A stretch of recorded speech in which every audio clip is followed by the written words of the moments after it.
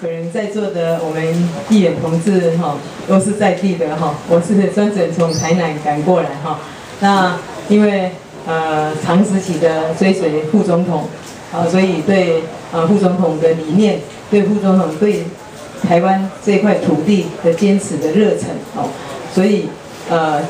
是虽然刚刚才我们理事长说我当过两届的国代哈，三届的立委哈。竟然还降格来选市议员哈，其实我本来是不想选的哈，因为台湾这一二十年来啊，重大的哈，风起云涌的改革哈，不管是宪政改革、国会改革、社会改革，我都有参与过哦。不管总统推动总统直接民选、国会全面改选，我都有参与过哦，跟副总统一起哦，跟各位前辈一起来奉献过、努力过、付出过，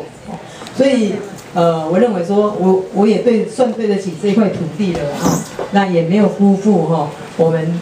这这哈咱台湾哈，有台湾心的台湾人哈，啊，对于我的五万甲期待哈，啊，本来哈，我想讲要退休啊，但是想讲咱副总统吼秀莲姐吼，啊，搁遮尔咧定吼，我嘛袂使退休了对啦吼，台湾还袂成功了对啦吼。台湾独立还未成功吼，台湾人还未做主了对吼，台湾人还阁未当伫咧国际上吼争一席的地位的时阵吼，我当然吼嘛袂使放弃了对啦吼，坚持甲咱所有有爱心、有疼心、对这个土地有信心的台湾人继续来拍拼吼。所以，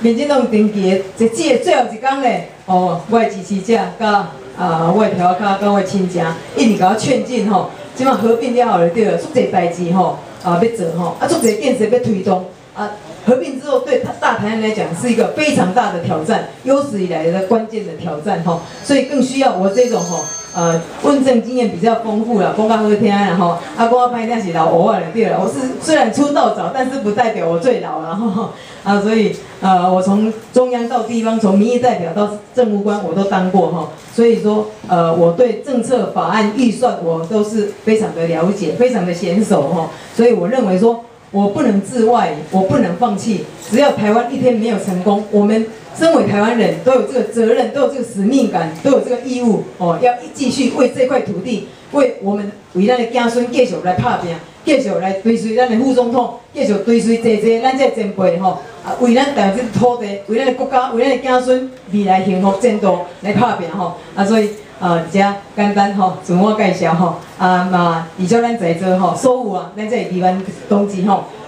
全全部全力党的对吼，大家我爱我爱看棒球的对吼，王建民吼是我的好朋友吼，所以希望咱这边吼，诶，伫咱副总统诶加持之下，我们全部都能够全部五都全当全部当选，咱市员拢会当全力党全部拢共选吼，感谢大家，祝大家平安顺心。